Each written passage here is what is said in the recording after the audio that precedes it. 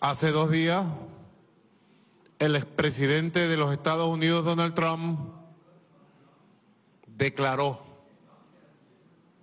su crimen, un crimen de lesa humanidad contra el pueblo de Venezuela. Declaró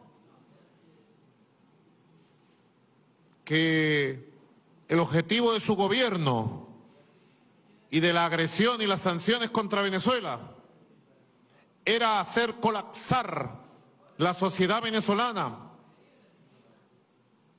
para que el poder imperialista de Estados Unidos se apoderara del petróleo venezolano, se apoderara de las riquezas de Venezuela. Diría un buen abogado, a confesión de partes, relevo de prueba. Trump ha declarado su culpabilidad en crímenes de lesa humanidad contra el noble y pacífico pueblo de Venezuela. Ese es el objetivo del imperialismo, apoderarse de las riquezas de nuestro pueblo. Ellos pensaban venir a controlar el petróleo, siendo Venezuela la principal reserva de petróleo del mundo certificada.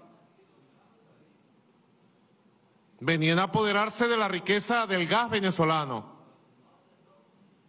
Estamos ahora, presidente Raisi, certificando lo que va a ser la cuarta reserva de gas del mundo aquí en el Caribe venezolano.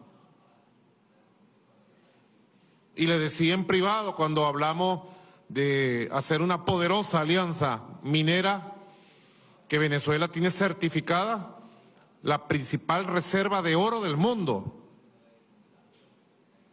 Son las riquezas materiales que le pertenecen única y exclusivamente al pueblo de Venezuela, al bravío pueblo de Venezuela, a más nadie. No pudo Trump con Venezuela.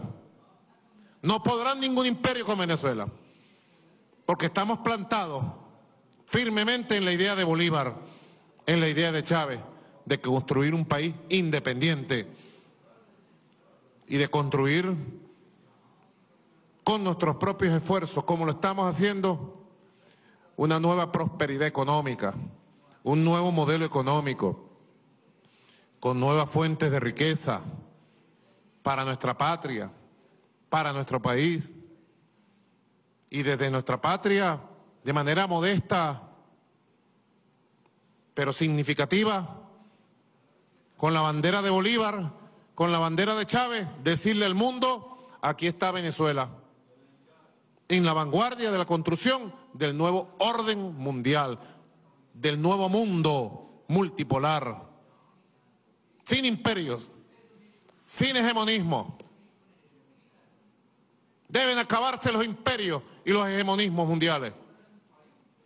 Y debe respetarse la identidad de todas las regiones del mundo, de todas las culturas, de todos los pueblos. Irán y Venezuela estamos unidos en el alma. Estamos unidos espiritualmente.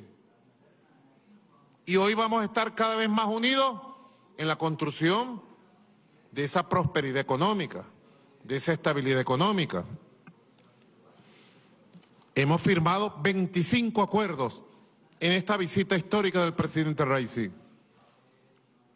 Y todavía en estas horas se negocian nuevos acuerdos para nuevas inversiones.